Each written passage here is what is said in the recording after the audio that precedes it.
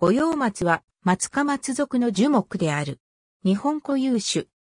元編種姫小松は本州、四国、九州の海抜1300の1800メートルの場所に、編種、北御用 PP バリエーション、ペンタファイラは本州北部と北海道に分布する。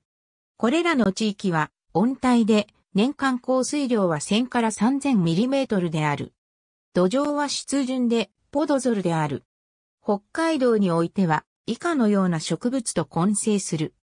カラマツ、ナナカマド、ハイマツ、ダケカンバ、ススキ、大板鳥、ツツジ類、水なら、ミヤマヤナギ、梅ガサソウ、サルナシ、ナワシログミ、大分や名月、エビガライチゴ、泥の木、山ならしなど、他の松同様に根において、菌類との共生関係を結び、外生菌根を形成する。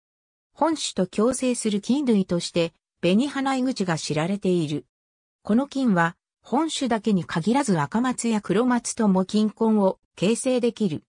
原産地においては、樹高15から20メートル、もっと大きくなることもある。樹幹は円錐型だが、老齢の個体では扁平であり、不規則に成長する。原産地以外に植栽されたものは、樹高6から8メートルにしか成長しない。樹皮は若い個体では滑らかで明るい灰色から灰褐色である。老齢個体ではくすんだ灰色で、一般的に鱗状に大きく裂ける。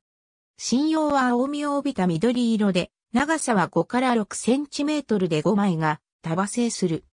私有同種であり、一つの個体におしべだけを持つ雄花、雫だけを持つ雌花の2種類の花をつける。雄花はピンク色で大きさは7から10ミリメートル、花粉は風で運ぶ風媒花である。カサカが熟すのは2年目の終わりである。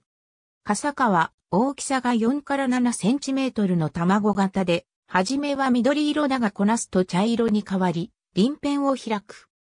種子は大きさ1センチメートルほどで2から10ミリメートルほどの翼を持つ。五葉松には下記の変種、品種が記載されている。日本三大五葉松に挙げられる、東五葉松、那須五葉松、四国五葉松が園芸産地として盛んである。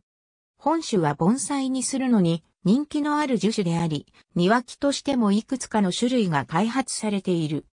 同じく盆栽に用いられる赤松や黒松などと比べても樹齢が長く、暑さにも寒さにも強いことが特徴である。